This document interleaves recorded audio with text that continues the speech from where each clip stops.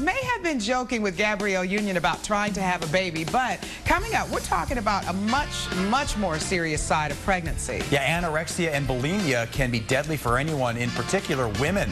So imagine being pregnant and dealing with one of these conditions. Scary, right? Yeah. Well, up next, more on the dangers of pregorexia.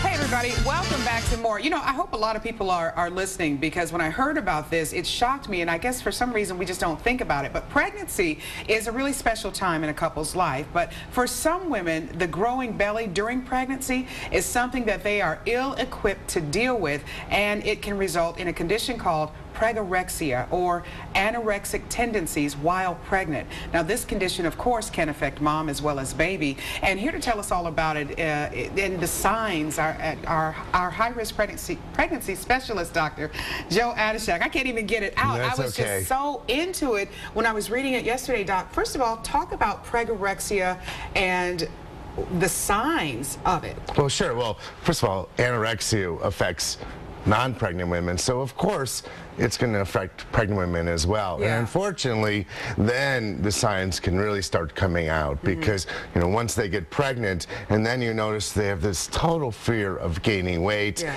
They look in the mirror and they say, oh my God, look how fat I'm getting. And they desperately try not to gain any weight. And, and no matter how hard you say, well, this is for the baby, it's right. better, all they see is, oh my God, I'm so fat, I'm so fat. How how will I ever lose this weight? And, and they don't, they, they feel guilty and they feel terrible because anorexia, bulimia, it's still a real disease. Absolutely. And they cannot control themselves and they cannot control the fact that they try so hard not to gain the weight. And you can say, well, it's for the baby and of course, and they, they feel guilty just like any other you know, situation with situ gaining weight, exactly, right? Okay, exactly. let me ask you this. You have somebody like this who's dealing with this disease, anorexia or bulimia. They walk into your office. You're mm -hmm. a mm-hmm. doctor. You notice right away. What are the first steps you take? Well, of course. Well, first of all, we make sure they continue any therapy that they have had, okay? okay? And it's just as important, you know, during pregnancy right, as not yeah. pregnancy.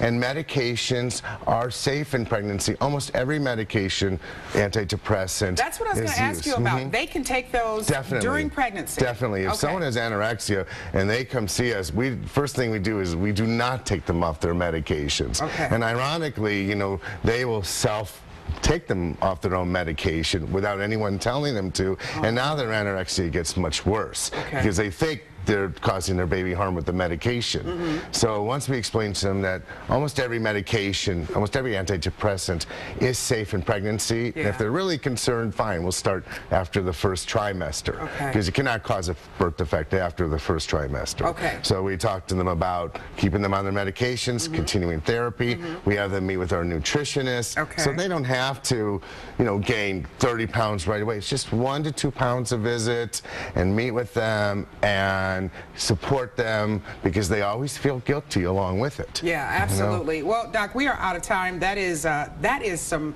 serious stuff there. Yeah. I mean, I was totally shocked when I was reading about it um, yesterday. But thank you so much for telling us about it. The of word course. is pregorexia, folks. And whatever you do, don't walk up to a pregnant woman and go, what was it well, you, know, it looks like you're about to pop. Yeah. You know. Don't want to do uh, that. Oh, oh, are you getting? Are you having triplets? Yeah. What is that? You Ooh, know, no. no, don't do that. okay. Thank you so much. We Thank appreciate it. Much. Jason, had you ever?